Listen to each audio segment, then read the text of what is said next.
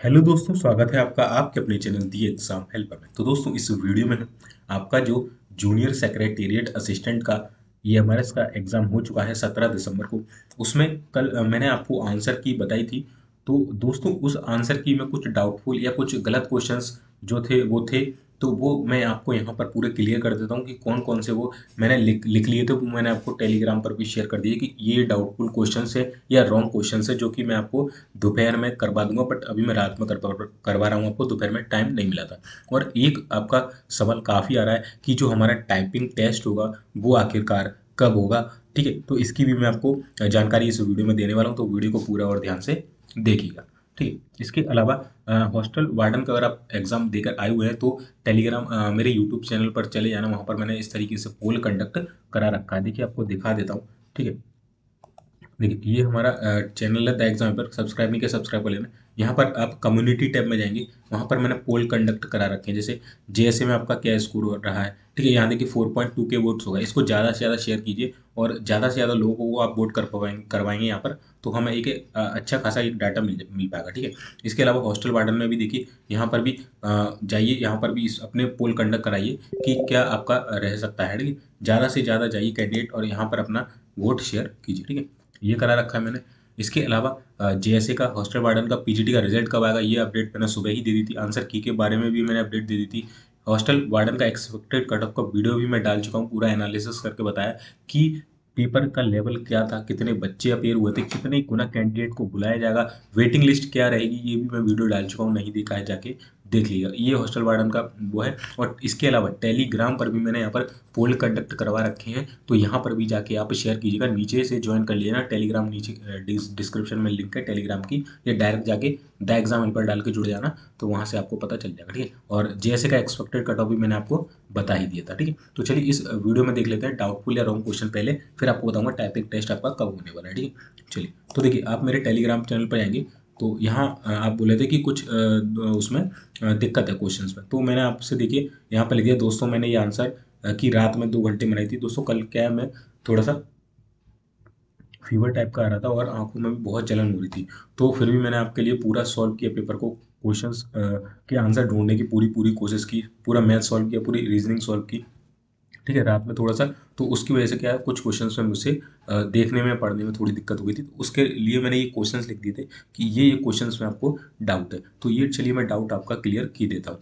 ठीक है, चलिए। और जो मैंने कट ऑफ़ बनाया था हाई क्यों जाएगा, वो मैंने उसका रीज़न यहाँ पर दे दिया था। ठीक है, और जो भी अपडेट आ रही है, मैं सबसे पहले यहाँ डाल रहा हूँ तो जाके ज्वाइन कर लेना। चलिए, ये है हमारा पेपर दोस्तों। तो इसमें सबसे पहले जो आपको दिक्कत आई थी, ये देखिए रीजनिंग वगैरह तो मैंने आपको पूरी सॉल्व करके दे दी थी। है ना मैथ्स भी आपको पूरा सॉल्यूशन सहित मैंने ये पीडीएफ डाल रखी है अपने टेलीग्राम चैनल पर। वहाँ से जाके ले लेना, ठीक है? ये मैं दूसरी अपडेट डाल दूँगा। लो, मैं इसको सेव कर लेता हूँ। ठीक है? सेव नहीं की मैंने सेव कर लिए। मैं एक नई पीडीएफ इसकी डाल दूँगा। तो इसको आप ले लेना वहाँ से, ठीक है? लो, मैं आपके सामने ही डाल देता हूँ। आप जाके इसे ले लीजिएगा ओके मैं देखता हूँ ये शेयर होती है कि नहीं। है ना? चलिए तो यहाँ से हम जाएँगे। और ये है जो वो चीज़। और मैं इसको यहाँ से भेज देता हूँ, ठीक है? Update updated J S answer C E M R S ठीक है? चलिए, मैंने ये डाल दी, ठीक है? आपके सामने ही मैंने ये जो पी डी एफ़ है वो डाल दिया है अपडेटेड है? देखिए, ठीक है? तो यहाँ पर देखिए मैंने सबको आपको सॉल्व सॉल्व करके ही पूरा रात में ही दे दिया था ये। रात को लगभग डेढ़ दो बजे मैंने वीडियो डाला था, ये पूरा सॉल्यूशन करके मैंने दिखा दिया आपको। सारे क्वेश्चंस का मैंने बकायदा सॉल्यूशन करके भेजा उसमें, किस तरीके से सारी चीज़ें हुई हैं, ठीक है? इसके बाद हमारा इक्कीस नंबर से मैथ्स आ गया था तो मैथ्स को बहुत ही सिंपल पूछ लिया दोस्तों। बहुत बेसिक्स मैथ पूछ लिया है तो।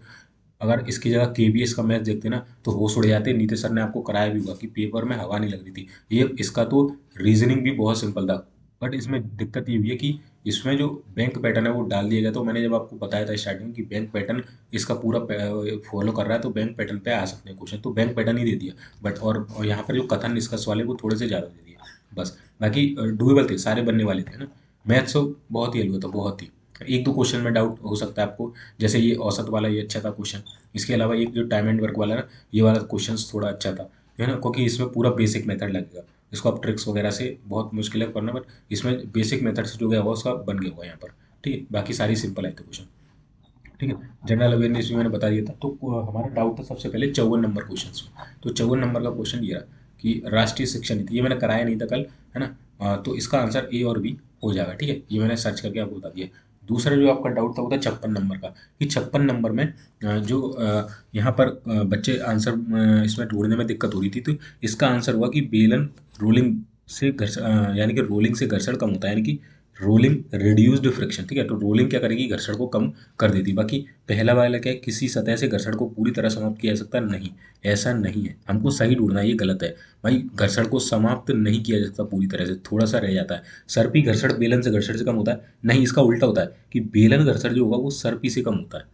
ठीक है, इसका उल्टा होता है तो इसलिए गलत होगा। केवल बी ऑप्शन सही है तो बी आपका आंसर यहाँ पर हो जाएगा, ठीक है। और एक सत्तावन नंबर था, मैंने इसका आंसर नहीं बताया था तो इसका आंसर हो जाएगा सेवन डिग्री सेल्सियस से सत्रह डिग्री सेल्सियस इसके बाद जो हमारा सिक्सटी वन नंबर का क्वेश्चन था, ये वाला इसमें दोस्तों मैंने क्या करा था, मैंने इसकी इंग्लिश नहीं पढ़ी तो मैं इसको थर्मो स्टेट पढ़ने, वो थर्मोसेट पढ़ने लग गया तो मैंने इसकी चलते पीवीसी आंसर दे दिया। बट इसमें थर्मोसेटिंग हुआ तो मेलामाइट ठीक है, मैं बोला हूँ, रात में मुझसे थोड़ी सी दिक्कत हुई थी। इसके बाद सिक्सटी फाइव नंबर का क्वेश्चन है दोस्तों आपका, ये वाला, ये मैंने बताया था कि आर्टिकल ट्वेंटी और ट्वेंटी वन जो था वो आपका जो मूल अधिकार है, वो निलंबित नहीं होते। कौन से? आर्टिकल नंबर एक तो होता है ट्वेंटी और ट्वेंटी वन इसमें जो बातें लिखी थी, वो यहाँ पर थी। तो उसके लिए आपका आंसर नंबर वो एक सही हो जाएगा। चलिए मैं आपको थोड़ी दिखाने की कोशिश करता हूँ।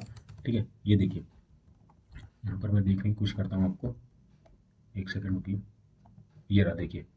ये मेरे नोट्स हैं, उसमें लिखा हुआ है बकायदा। देखिए, अनुच्छेद 20 अपराधों के लिए दो सिद्धि के संबंध में संरक्षण का अधिकार।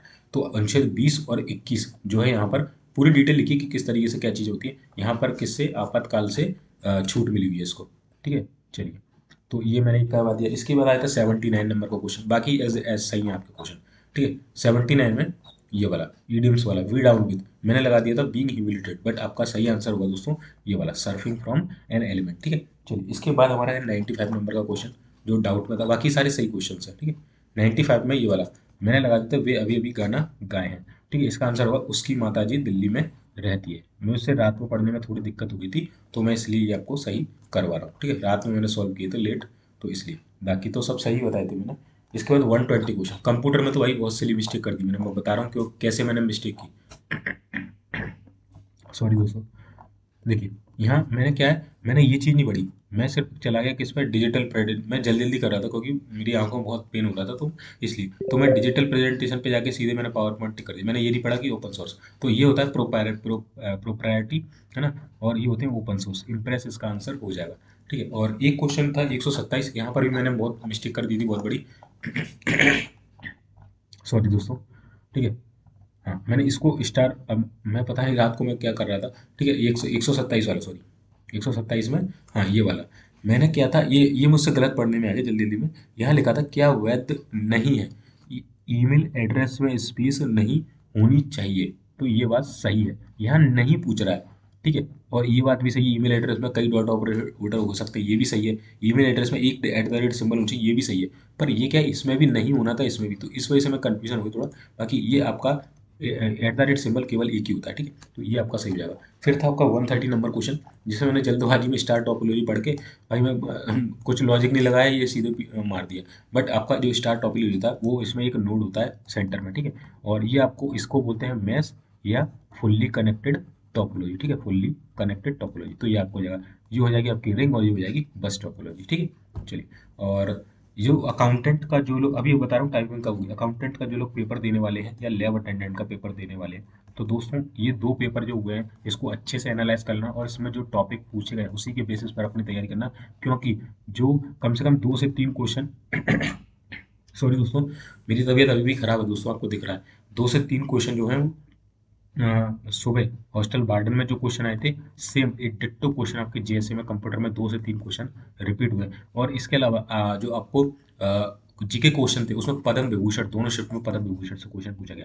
तो इससे ही मिलता जुलता मतलब इसमें से कुछ क्वेश्चन चार से पाँच रिपीट होने के चांस है तो इस, इन दोनों पेपर को पूरे अच्छे से कर लेना। और इसके अलावा मैं आपको एक्सपेक्टेड करवाने की कोशिश करूँगा, जितना हो सकेगा। ठीक है तो चैनल पर जुड़े रहिएगा। कौन से द एग्ज़ाम पर जीके पर हम कराएँगे चीज़ों को। ठीक है मैथ भी सर करवा देंगे आपको। चलिए तो अब हम देख लेते हैं कि आपका जो सॉरी दोस्तों टाइपिंग टेस्ट कब होगा, ठीक है? तो यहाँ पर हम पावर पॉइंट ओपन कर लेते हैं और आपको बता देते हैं कि आपका टाइपिंग टेस्ट जो है वो कब होने वाला है ओके तो चलिए तो दोस्तों टाइपिंग टेस्ट की अगर बात करें, देखिए टाइपिंग टेस्ट कब होगा? टाइपिंग टेस्ट आप बहुत लोग पूछ रहे हैं कि कब होगा? ठीक है? तो बता दूँ दोस्तों आपका जो टाइपिंग टेस्ट है, देखिए, सबसे पहले जो इसमें प्रोसेस रहेगी, देखिए, अभी जीएसए का आपका एग्ज़ाम हो गया, या कोई भी एग्ज़ाम हो गया, केवल जीएसए में टाइपिंग है। तो इसके बाद क्या होगा? सबसे पहले आपके आंसर की आएगी। क्या आएगी? कहाँ गया ये? हाँ। सबसे पहले आपकी आंसर की आएगी। देन आपका क्या आएगा? रिज़ल्ट आएगा। ठीक है? देन आपका क्या होगा? टाइपिंग टेस्ट होगा। तो अभी इतनी स्टेजेज आना बाकी है। आंसर की के लिए आपको जो डेज़ लगेंगे आफ्टर ट्वेंटी फोर नवंबर तो ये लगेंगे सेवन डेज़ ठीक है?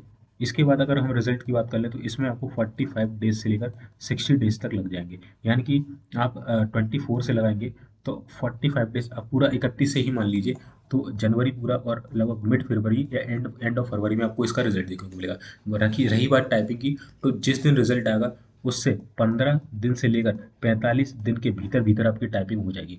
यानी कहीं ना कहीं जो आपकी टाइपिंग है या तो फरवरी के एंड में होगी या मार्च के स्टार्टिंग में आपकी टाइपिंग होने वाली है ठीक है? यह आपकी टाइपिंग हो जाएगी। मतलब मार्च के महीने में तो पॉसिबल ही है कि आपकी टाइपिंग किसी भी तरीके से करवा ली जाएगी ठीक है? तो ध्यान रखिएगा। अब आप कहेंगे कि टाइपिंग किस तरीके से होगी कौन सा सॉफ्टवेयर यूज़ होगा हिंदी में कौन सा फंड आएगा? इंग्लिश में कौन सा फंड आएगा? किस तरीके से हमको टाइपिंग स्पीड बनानी चाहिए? दो महीने के अंदर किस तरीके से हम चीज़ों को कर सकते हैं? तो उसके लिए एक प्रॉपर सेपरेटेड वीडियो बना दूँगा। तो उसके लिए आपको सिंपली क्या करना है? सिंपली जो है भाई आ, ये देखिए हमारा जो चैनल है उसको सब्सक्राइब कर लीजिए जाके, कुल मिला के बस इतना सा काम करना है आपको, है ना? जो हमारा चैनल है, उसे जाके बस सब्सक्राइब कर लो आप, हो गया काम अपना, ठीक है? एक सेकेंड कहाँ पे हो गया? चलिए इसको काट देते हैं, इसको भी काट देते हैं, ठीक है? ये मैं सेव कर देता हूँ फिर से। ये मैंने भेजी दिया आपको जहाँ तक, है ना? चलिए, देखिए, इसको भी हम काट देते हैं पूरा, और अरे हट जाना भाई। उसके लिए देखिए, आप इसको ज्वाइन कर लीजिए। पहले तो द पर जो टेलीग्राम चैनल उसे और इस जो हमारा यूट्यूब चैनल उसे सब्सक्राइब करिए मैं इस पर कल आपको वीडियो बना के देने की कोशिश करूँगा, नहीं तो परसों, कल रात को या परसों सुबह तक मैं आपको ये वीडियो दूँगा टाइपिंग किस तरीके से होगी, क्या होगी। तो उसके लिए जुड़े रहिए चैनल पर। वीडियो देखने के लिए आपका बहुत बहुत धन्यवाद। मिलते हैं फिर नेक्स्ट वीडियो में, तब तक के लिए जय हिंद, जय भारत।